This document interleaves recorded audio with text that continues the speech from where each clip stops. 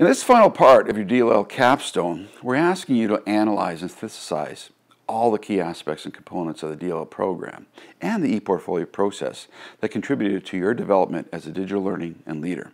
And then share this experience along with the comprehensive organization of all your work. While this is one assignment, you may want to break it down into perhaps three closely related parts.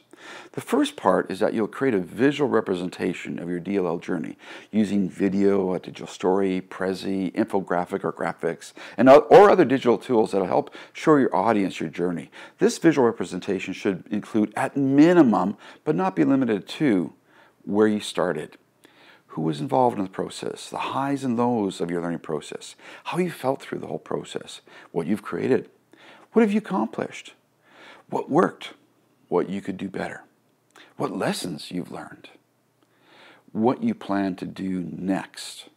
Once again, I need to repeat that this is just a starting point for your synthesis. You need to make this your own. In the second part of this assignment, you'll need to link all your existing work and resources to support your visual representation through a well-organized post that will help further synthesize and support your experiences in the DLL program.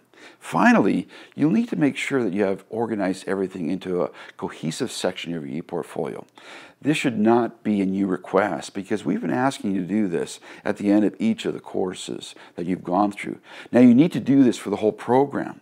Consider the following sections or components of your ePortfolio that you should be including.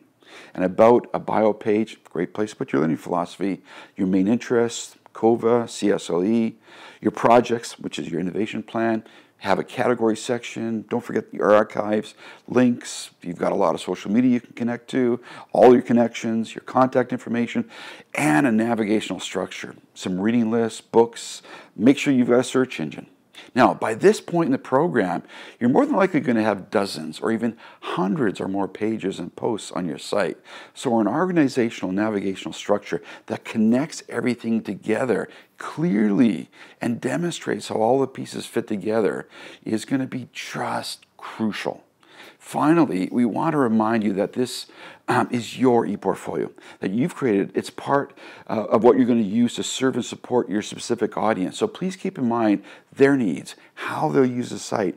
Uh, you've put a great deal of work into this DLL program, and your ePortfolio has been the one place where all your hard work can be seen and shared with the world. So please do your best to make it easy for your user to have access to all the wonderful work that you've done and help them on their journey toward becoming a digital learning and leader, just like you have become.